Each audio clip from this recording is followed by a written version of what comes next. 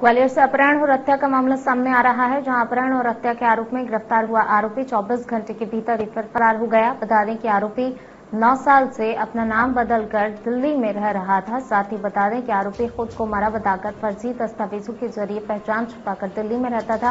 वहीं आरोपी की पहचान सीसीटीवी कैमरे में भागते हुए फुटेज कैद हो गई थी, जिससे पुलिस को आरोपी का पता चल सका। आरोपी को दस्तावेजों की पड़ताल के लिए पुलिसकर्मी ले गए थे।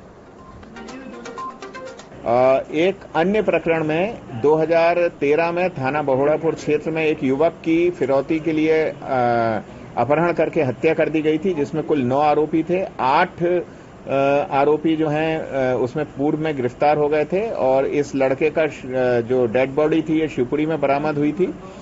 इसका जो एक आरोपी था, ये अपना हुलिया बदल के दिल्ली में रह रहा था और इसके घर वालों ने इसको मृत घोषित कर दिया था, जिससे कि पुलिस की निगाह से बचा रहे।